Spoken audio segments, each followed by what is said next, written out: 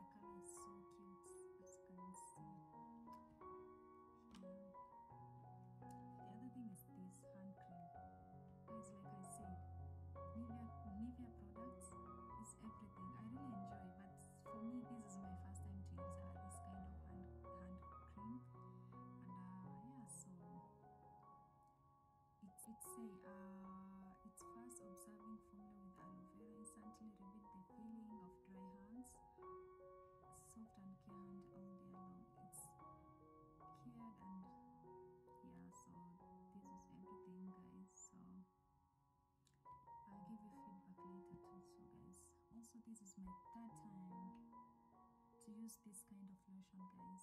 If you have stretch mark if your skin is dry i really recommend this lotion. And also it smells so good.